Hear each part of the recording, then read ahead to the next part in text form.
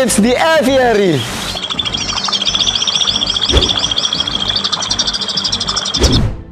Mandarin duck or Aix galericulata is a medium-sized duck species with a length of about 41 to 49 centimeters and a wingspan between 65 and 75 centimeters.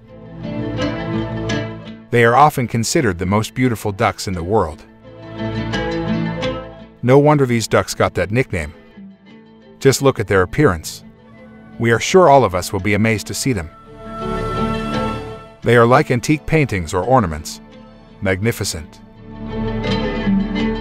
The beauty of their feathers even makes them often depicted in Oriental arts. The oldest poems containing the Mandarin duck were written in the 7th century BC in China. The poem is said to have been translated by a British linguist, translator, and missionary, James Legge. However, only the male Mandarin ducks have a colorful appearance. In comparison, the females are dull. Their heads are gray, with brown backs, white eye circles and outlines, and pale beaks. Juvenile Mandarin ducks have almost the same appearance as adult female Mandarin ducks. And coincidentally, one of Irfan's friends gave him a pair of juvenile Mandarin ducks so they could be placed in the aviary. Now let's see their release in the pond.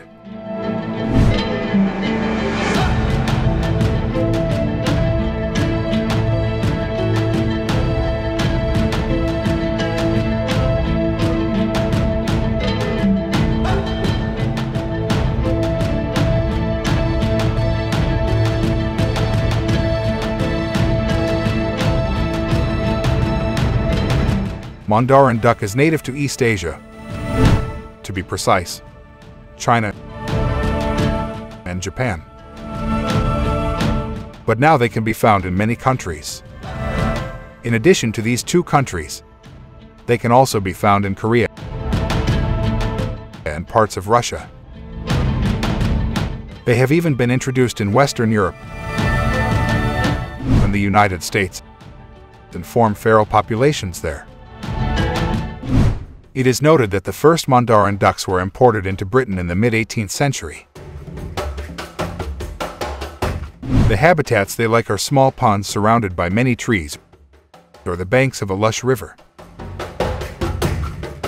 They prefer to live in lowlands, although they can do so at an altitude of up to 1,500 meters above sea level when breeding.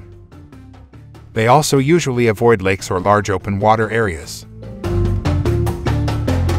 However, in Europe, they live in more open habitats, such as lake shores, water meadows, and cultivated areas with nearby forests. In winter, Mandarin ducks in East Asia usually migrate to the lowlands of eastern China or southern Japan.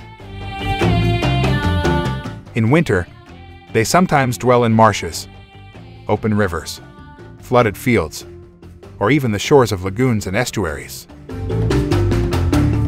Keep in mind that they prefer fresh water. It is only in winter that they may be seen in salty waters. One other anomaly in winter is that these ducks will congregate in fairly large groups. Naturally, they are usually seen alone, in pairs, or small groups.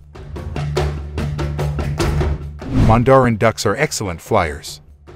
They can maneuver with amazing agility, flying through trees before perching on top of them. Yes, they are ducks that often perch in trees, especially trees above the water. Even so, they usually find food by walking on land. Their main diet is grains and plants, but their diet changes with the changing seasons. In autumn and winter, they do eat seeds and plants. But in the spring, they mostly eat insects, snails, aquatic plants, and small fish. While in summer, they prefer worms, small snakes, mollusks, small fish, and frogs as their diet. Their feeding time occurs at dawn or dusk. They are shy animals. They often hide under trees, such as overhanging willows. But they may become bolder if they interact with humans more often. One other interesting fact is that the females never quack. They make several squeaky calls when they encounter danger, such as a fox, mink, or beaver. For the duck species, mandarins are unique in their nests. Yes, they nest in holes in trees. And although their nests are in wooded areas near lakes, marshes, or shallow ponds, they are sometimes located far above the water. In April or May, female Mandarins lay 9 to 12 eggs and then incubate them alone without the help of the males. The males protect their mates from harm during the incubation period, but they will leave before the eggs hatch. As the eggs hatch, the female will fly down and try to persuade the ducklings to jump from the nest. The feathers of the ducklings are soft and light, making them less likely to hurt when jumping down. Then after they have all jumped, the mother will lead them to the nearest water.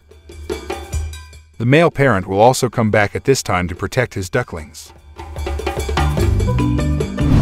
In China, Japan, and Korea, the Mandarin duck has been considered a symbol of love and fidelity.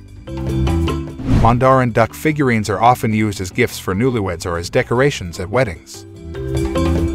In the traditional culture of the three countries, Mandarin ducks are believed to have only one partner in their lifetime. In other words, they are loyal to their partner.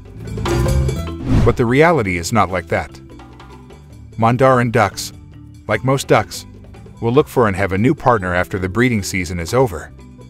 In the fall, to be precise. And like many other ducks, the male Mandarin duck molts after the breeding season into eclipse plumage. At that time, their appearance was almost similar to that of female Mandarin ducks. The difference between the two can be seen from the beak. The beak of the male is bright red or yellow-orange. In addition, Males will not have a crest during eclipse plumage, and their eye lines are less clear.